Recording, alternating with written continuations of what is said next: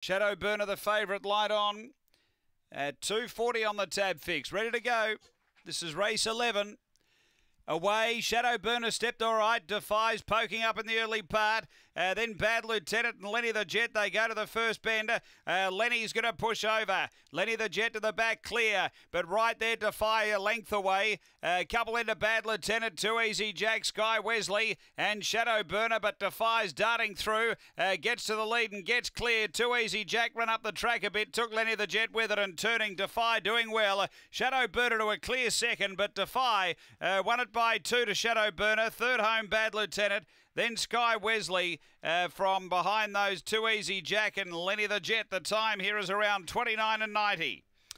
After race number 11 for the winner, Defy for Troy Murray. Number four first. Second to two, Shadow Burner uh, for Tony Rasmussen. And third to five, Bad Lieutenant uh, for Kel Douglas. It's 4 2 5 1 fourth after the running of race number 11 at Angle Park.